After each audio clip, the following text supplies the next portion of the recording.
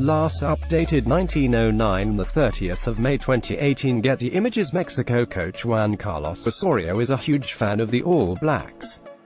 Bryn Lennon, Getty Images All Blacks head coach Steve Hansen leads the All Blacks in a way that inspires Mexican coach Juan Carlos Osorio.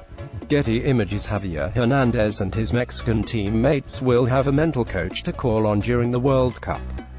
Rugby Mexico are taking tips from the All Blacks as they head to the 2018 FIFA World Cup in Russia. The Central American side line up alongside Germany, Sweden and South Korea in Group F for the World Cup, which shapes as one of the tournament's toughest pools. But the Mexicans are taking what they hope will be a secret weapon to the World Cup and it comes from their coach's fascination with New Zealand's national rugby team. Juan Carlos Osorio has included a mental coach in his team for the tournament. Something he introduced having followed the exploits of the All Blacks. More asterisk, All Blacks doco found wanting asterisk Egyptian lawyer threatens Ramos asterisk Salah will be fit for the World Cup asterisk Sterling's gun tattoo sparks Rothi. Sport that I admire the most is rugby and I admire rugby players as they are as honest as they come, Osorio told Sky Sports.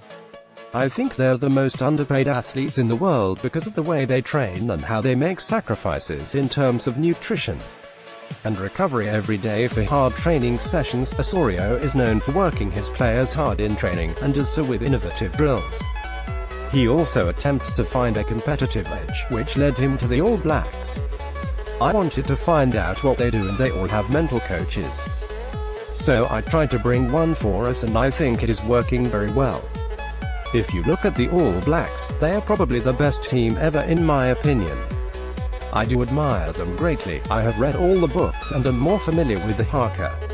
And I thought that if it worked out for such a tough, tough sport, then it has to work out for football. Mexico start the World Cup campaign against Germany, and are seeking to go past the round of 16 stage for the first time since 1986, the best ever finish at the World Cup was a quarter-final finish in 1970 and 1986, both of which were held in Mexico. Add feedback